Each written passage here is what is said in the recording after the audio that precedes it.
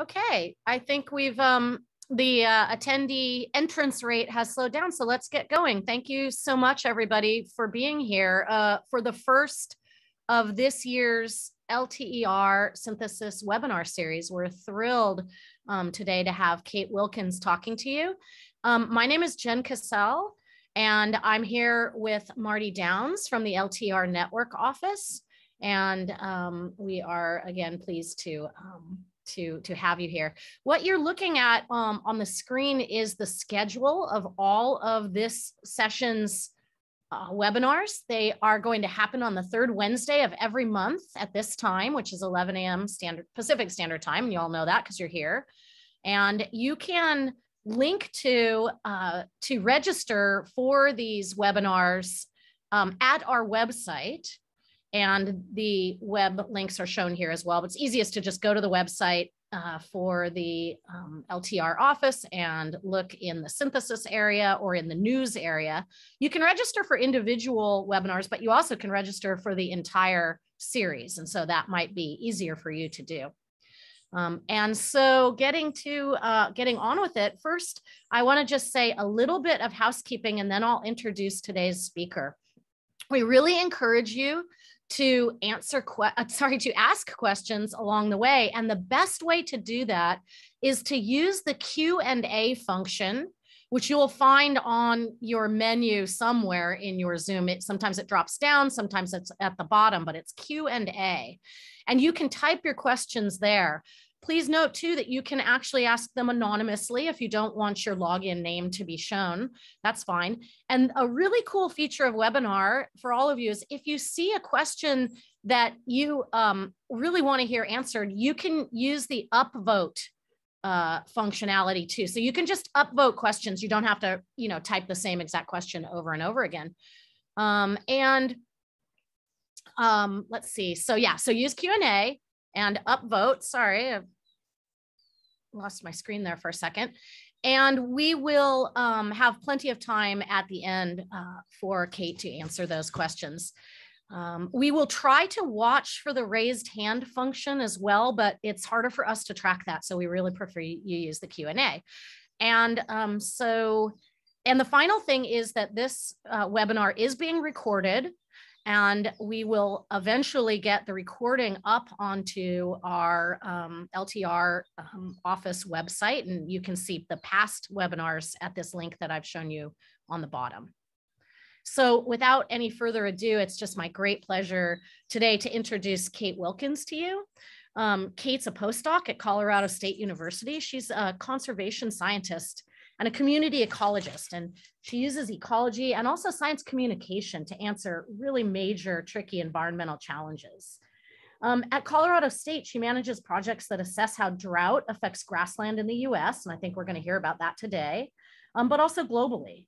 And Kate is also particularly interested in research that focus on, focuses on diversity and equity inclusion, especially in academia. So Kate is a co-PI on the LTER synthesis working group that's called a global synthesis of multi-year drought effects on terrestrial ecosystems. Um, and she's running this project with her co-PIs, um, Osvaldo Sala, Peter Wilfahrt, um, Laureano Gherardi, and Melinda Smith. And so let's get started. Um, Kate, I will stop sharing my screen and allow you to share. Great, thanks so much, Jen. And thanks to everyone for being here today.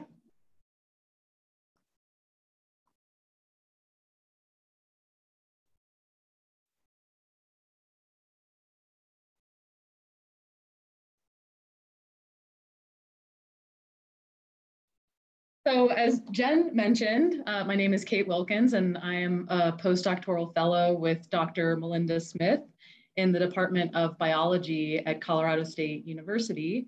And I'm really excited to speak with you all today on behalf of our working group, which has been focused on a global synthesis of multi-year drought effects on terrestrial ecosystems. Global drought is predicted to increase, um, especially with a changing climate. And here we have a map depicting uh, areas of the globe that are more wet, represented by greens and blues, and drier areas that are represented by yellows, reds, and purple. Um, and this is a snapshot in time from 2000 to 2009. And over time, we can see that many areas around the globe are becoming much, much drier. And this has consequent economic, social, and ecological consequences. Uh, in terms of the economics, in the US alone, there are annual losses of around 10 to 14 billion dollars, affecting primarily ranching and farming communities that feed populations. In terms of the social effects, there are threats to human health and safety um, with a threat of increasing frequency and uh, intensity of wildfires. And in terms of the ecological consequences, there are damages to structure and function of ecological communities. And our working group is really focused on um, these ecological responses to drought. And in terms of this ecosystem response to drought, in water limited systems, there have been studies that show no response to drought for biomass, species composition, as well as species richness and density. However, there have been other studies that show with lower mean annual precipitation, as well as smaller rainfall event sizes, there is an increase in the drought response of certain ecosystems. Thus, some systems seem to be resistant to drought, whereas other systems seem to be responding to drought. And so it's really important to improve information on ecosystem response to drought. Um, Currently, there seems to be a lack of coordinated experiments uh, across a large network of sites.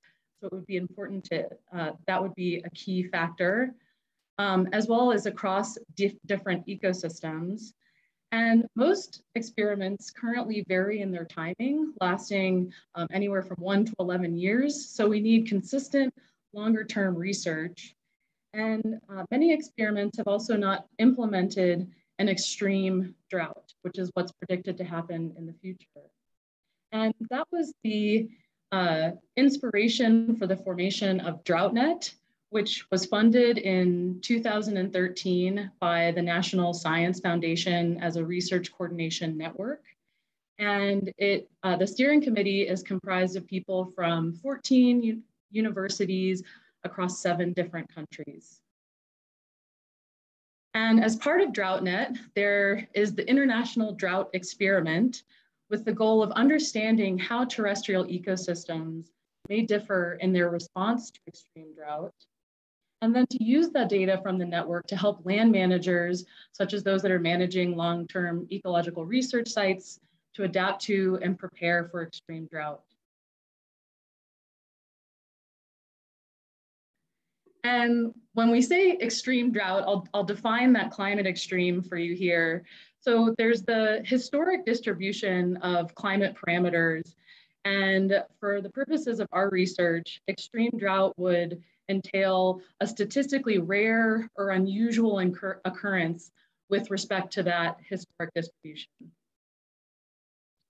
And so to participate in the International Drought Experiment, Sites had to implement that extreme drought, which for us was a one in 100 year event, and submit at least four years of data and provide data on above ground net primary production, plant species composition, temperature, uh, precip precipitation, as well as soil nutrients and texture.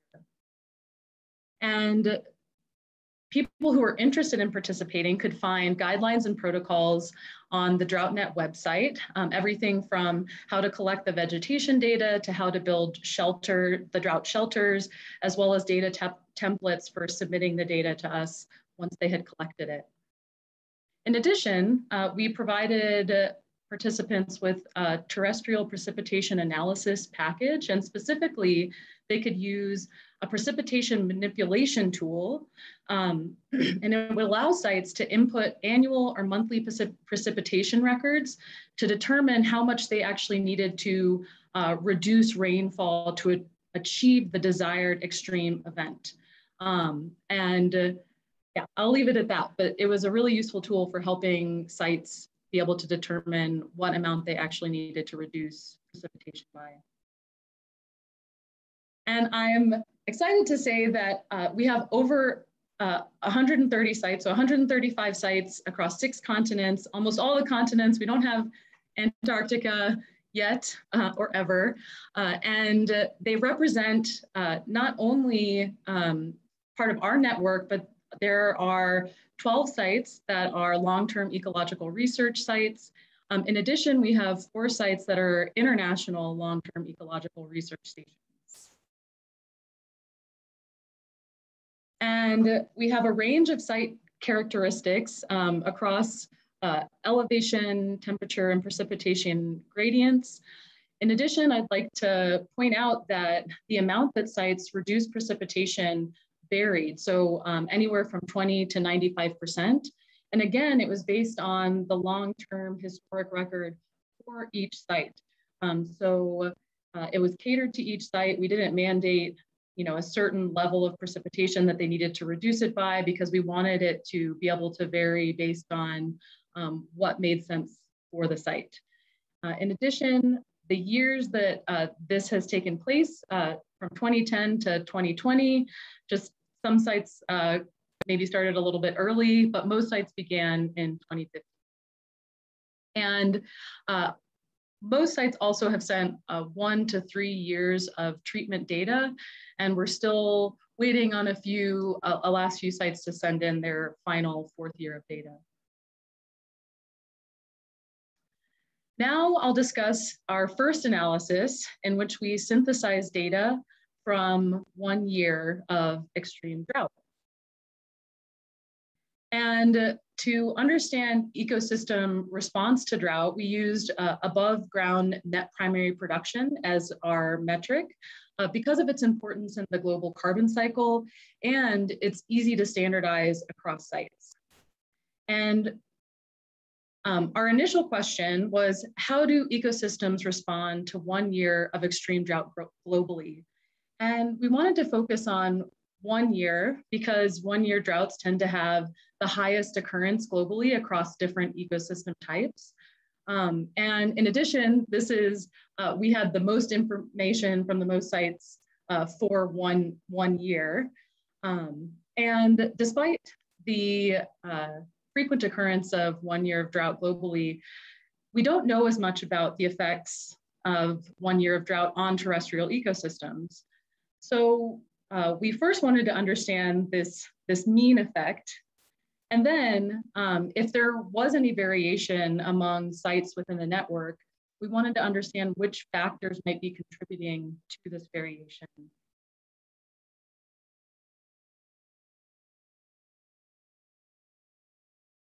And uh, for the methods for this, uh, in terms of the shelter design, uh, we asked sites to have a, a target minimum of a shelter size between two meters long to two meters wide.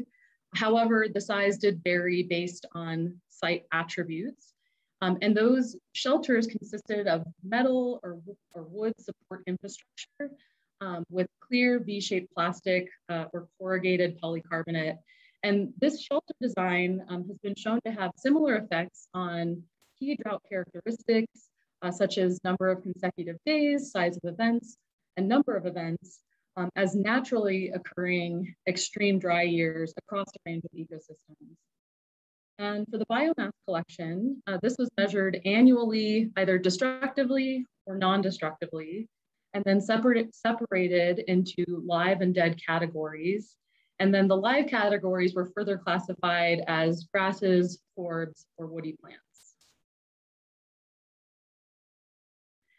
And I'll just go through quickly what happens once we get that raw data from the sites. Um, the experiments seem to be the part that is, uh, it's, it's challenging, but potentially easier to implement than the actual data management side. And so we get the raw data and bring it into MySQL.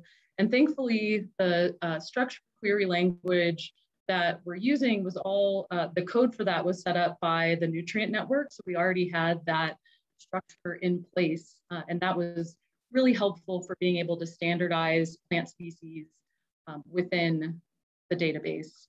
And then we output the clean data, clean quote unquote data that then has some further processing within RStudio uh, before outputting a final product that can be used for analysis. And into the results now.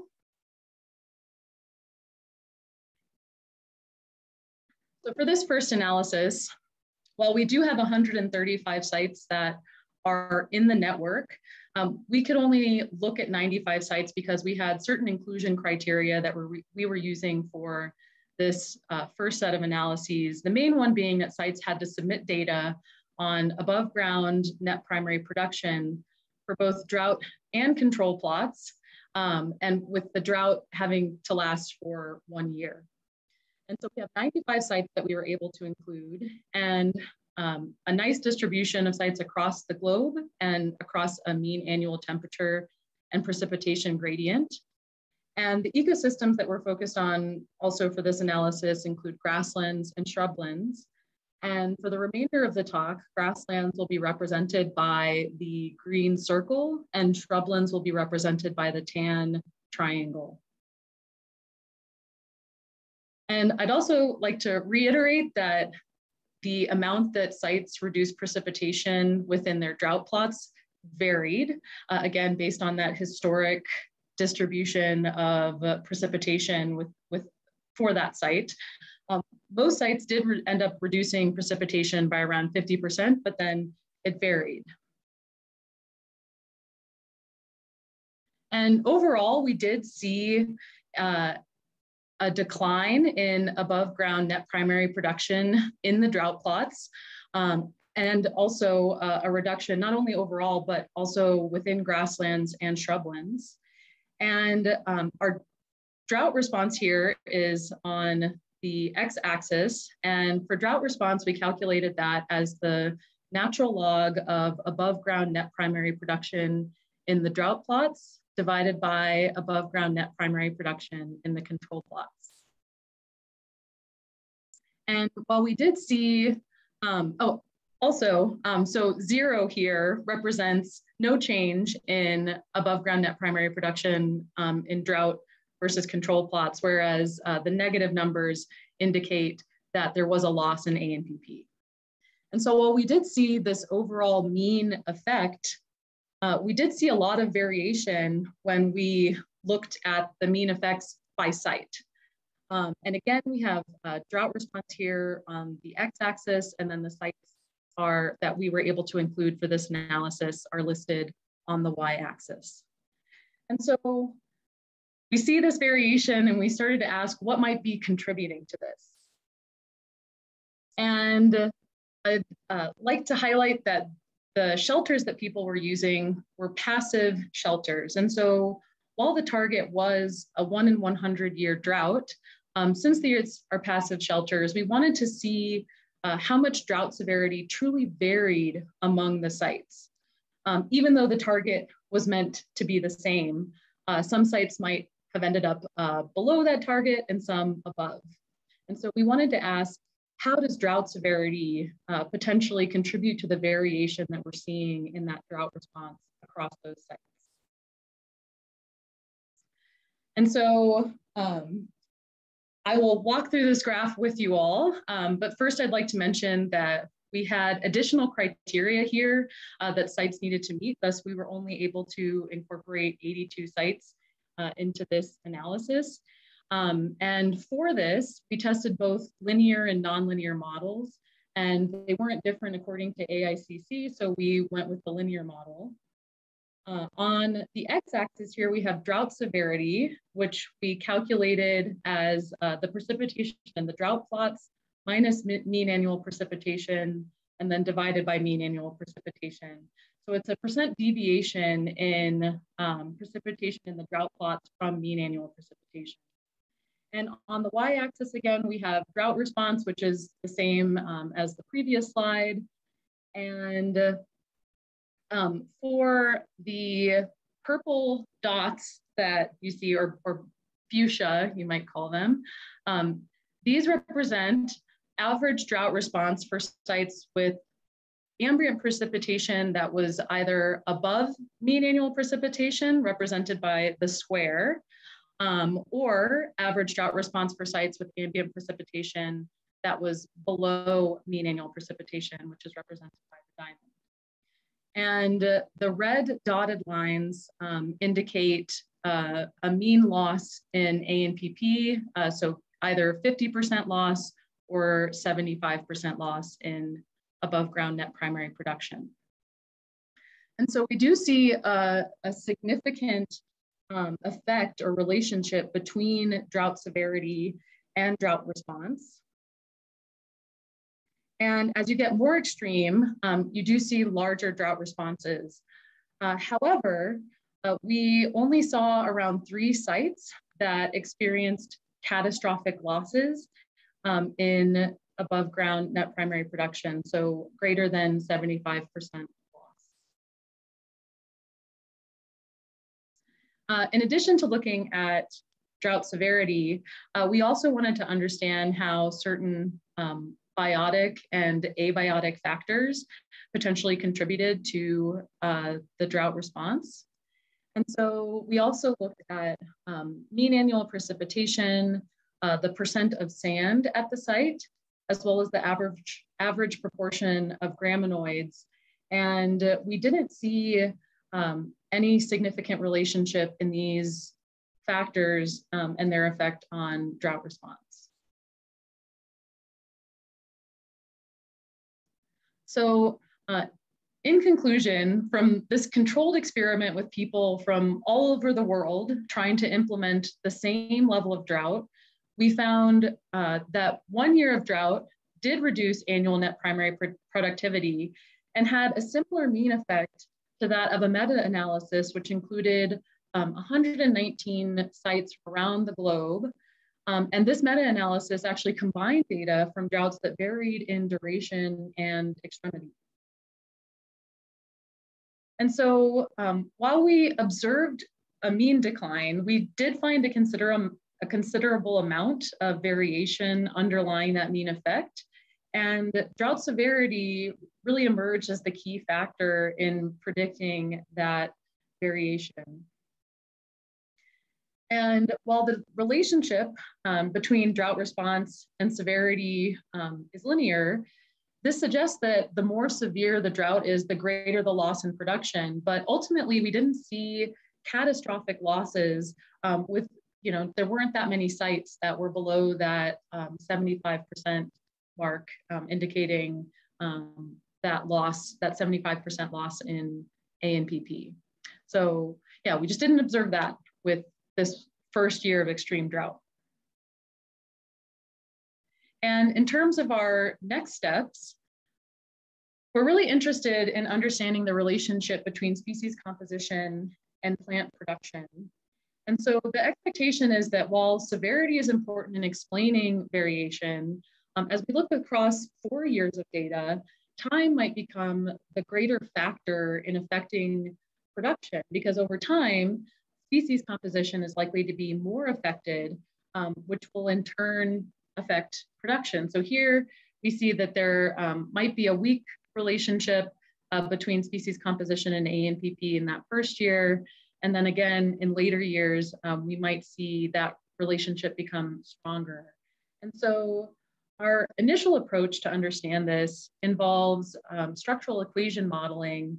But what's really great about working um, as part of NCEAS is learning about other approaches that we could use for this data. So I'd be really excited to hear uh, other people's thoughts on this and any suggestions y'all might have.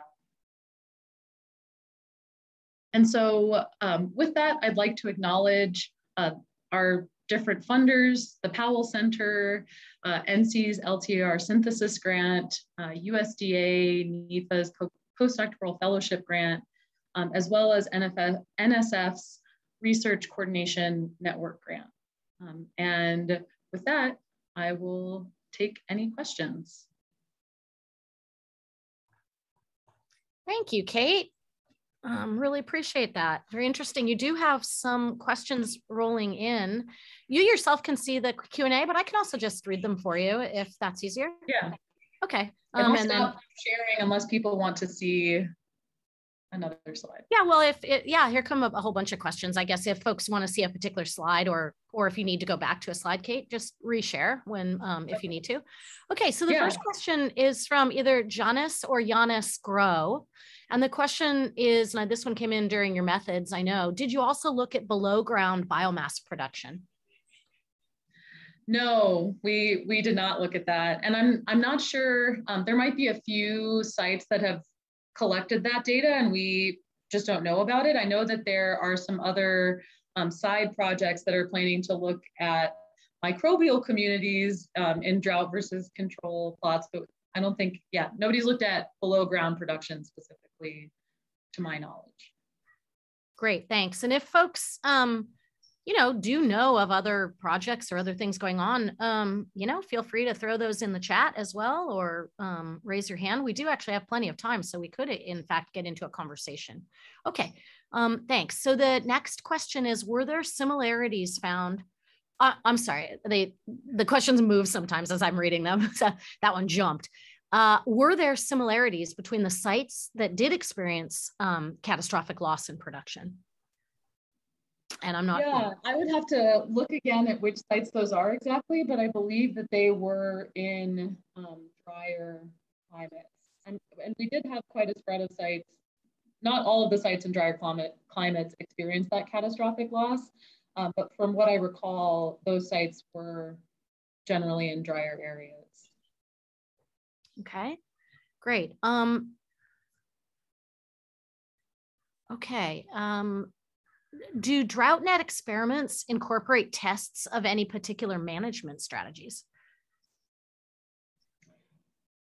Uh, I need some clarification on what is meant by management strategies and testing. Okay, so um, I, I don't know either, but um, an anonymous attendee who questioned the question was, do DroughtNet experiments incorporate tests of any particular management strategies? Hop back on the Q and A and um and maybe clarify that for Kate, and we'll circle back to that. Or um, raise your hand, as I said, and we are trying to track that as well, and we can discuss. So we will keep that one live. Um, okay, here's a question from Cameron McIntyre. Was mean annual temperature found to be an important covariate among sites that had significant de declines in ANPP? Hmm. Um, I don't recall if we looked at mean annual temperature as one of our covariates. It did, um, I'm thinking back to all of the yeah analyses that we did, and I believe that mean annual temperature was highly correlated with mean annual precipitation, and so I, I don't think we ended up including that. Um, and we just use mean annual precipitation, if I recall. So no. okay. Um, Amy Hudson asks, um, was there a spatial component for participants in the in DroughtNet? For example, maybe did it need to cover X kilometer squared to be included?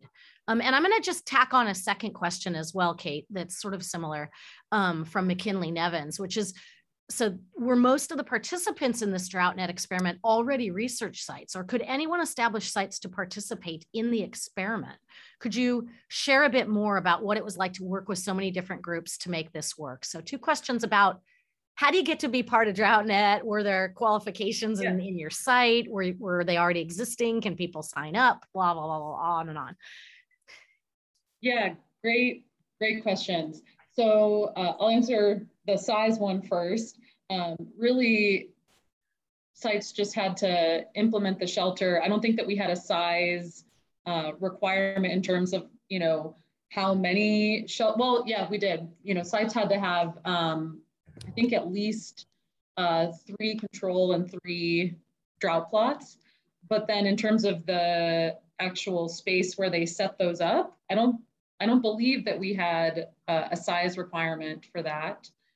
And then in terms of who could participate, and anyone, if you had land where you could construct shelters and meet all of the other requirements in terms of being able to implement it for four years, um, have uh, you know, drought shelters built, you could you could participate in it. So um, yeah, you didn't have to be an existing research site, but that's probably easier because it's hard to find land to build these longer term experiments.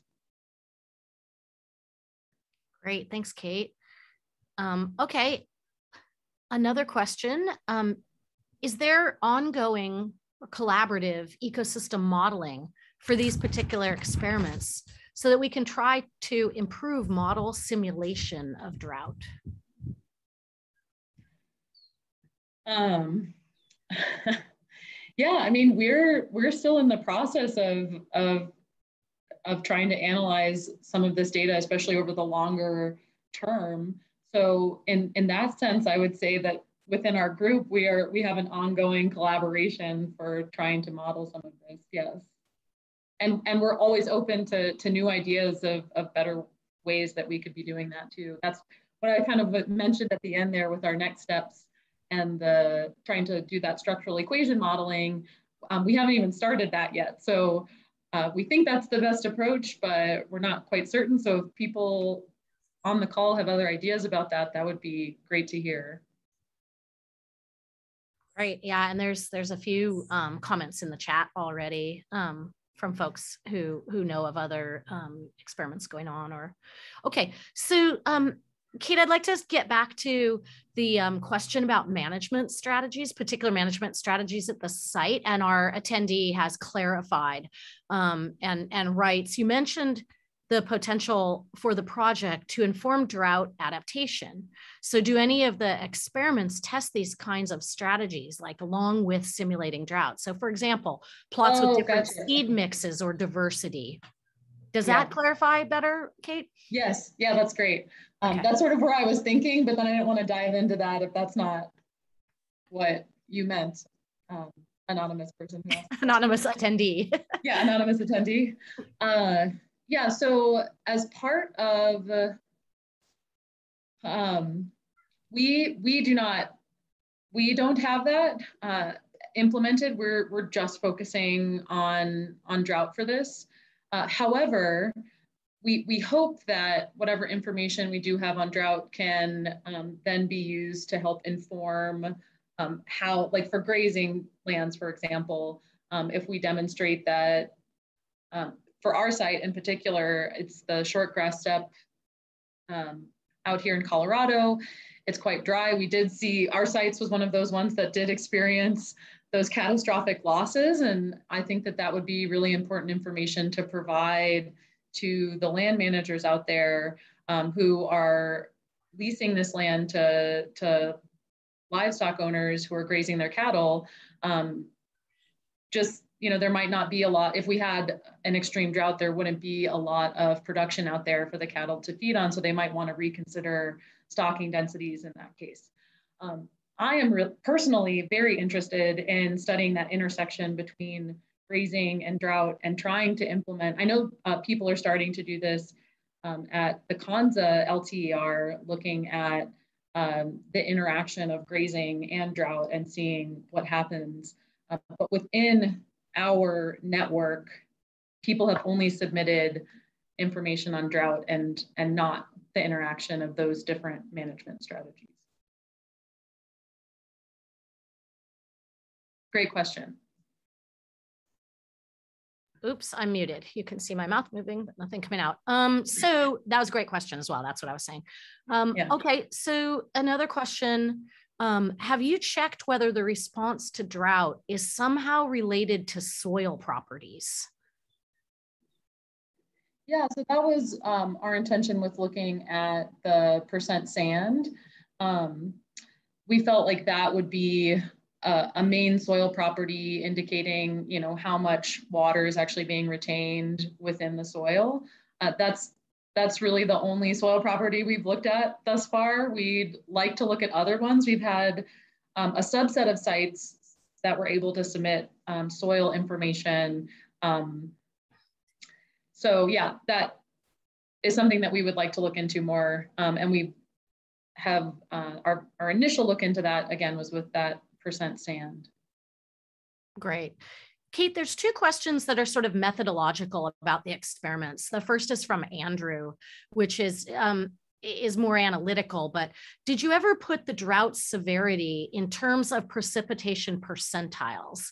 Andrew's thinking that with passive rainfall mm-hmm. reduction shelters, that the actual precipitation percentile that got into the shelters, right, might be different than the original target percentile. And Andrew says, sorry if I missed this.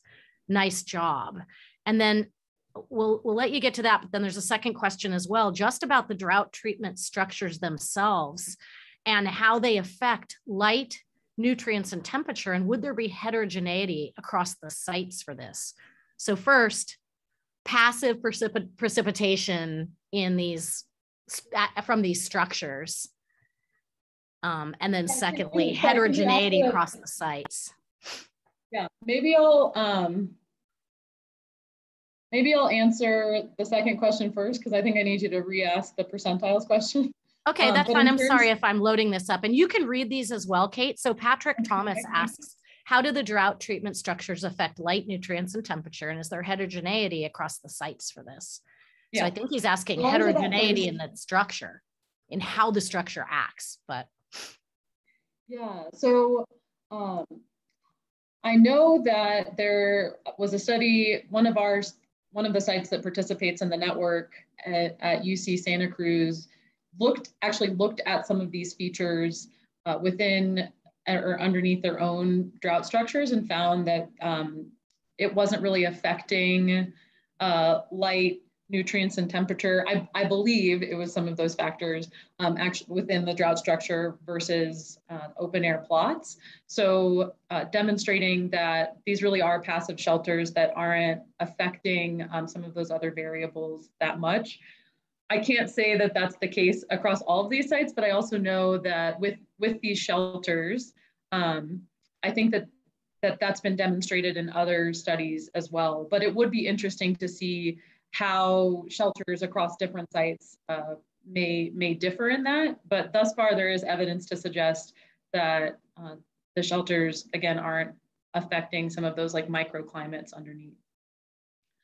Uh, I will look at the second question again, or the yeah. The, the second was, was um, from Andrew Felton. You can read it. Oh, hi, Andrew. Yeah, putting Andrew. the you know classifying the drought severity maybe into precipitation percentiles mm. thinking that the actual precipitation percentile that gets into the shelters through passive rainfall um, i'm sorry because they're passive reduction shelters could be different than what you were targeting yeah um, so yeah we haven't we haven't done it in terms of precipitation percentiles but i will say that i think that that's why what we were trying to get at with the drought severity metric to see if sites actually um, created as severe of a drought as we were intending, which was that one in 100 year event. But, but no, we have not done it specifically looking at what percentile they fell into. Great, thanks. And I just want to point everybody to the chat as well. Some references are going up there that are pertinent to the discussion and you all should have mm. access to that. So yeah, great. Thanks, Jake, yeah. for posting that. Great. Okay. Um, a couple more questions coming in. Um, we have a question here. How long, um, how long did the effects of extreme drought last in the analysis? Within a year, several years, or even longer? Yeah, so for this first analysis, uh, we were just looking at one year of extreme drought. And um, in terms of the specifics of that, uh, the sites had to have submitted um, at least, there had to have been at least 120 days of drought. So that would have been, um, you know, equivalent to a, a growing season. Uh, and then uh, no more than, um, I, I want to say it was, yeah, it had to be less than two years. Um, so that was kind of like our one year metric. So not multiple years.